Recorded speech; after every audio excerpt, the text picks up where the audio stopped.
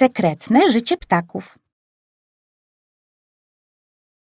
Opowiada Kasia Bajerowicz.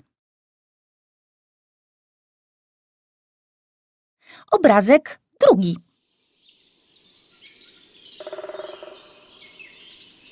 I stało się. Leszczyna zaczęła kwitnąć, a jej złocisty pyłek zwiastuje obfitość orzechów jesienią. Jednak zanim orzechy dojrzeją, zdarzy się tyle rzeczy.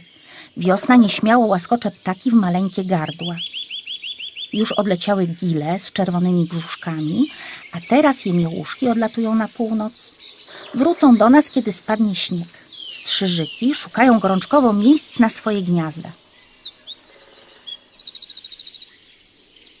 Mają co robić, bo jeden samczyk buduje czasem nawet dziesięć wygodnych kulistych domów dla swojej rodziny.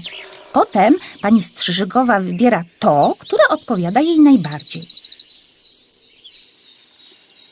Ta pani Strzyżykowa z jakiegoś powodu bardzo się zdenerwowała.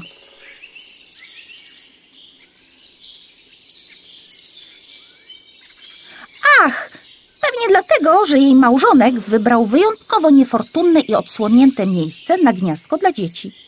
Przecież powinno być starannie ukryte. Kowaliki, pełzacze, dzięcioły i sikory przez całą zimę latały w kolorowych stadach. Razem wydłubywały owady, ich jaja, pająki oraz inne przysmaki spod kory drzew. Razem szukały tłustych, pożywnych nasion. Wzajemnie strzegły bezpieczeństwa. O, popatrz, jak zgrabnie kowalik łazi głową w dół. To prawdziwy akrobata. Tylko on potrafi wykonać tę sztuczkę. Już niedługo każdy z tych ptaków poleci w swoją stronę i będzie szukać dla siebie pary.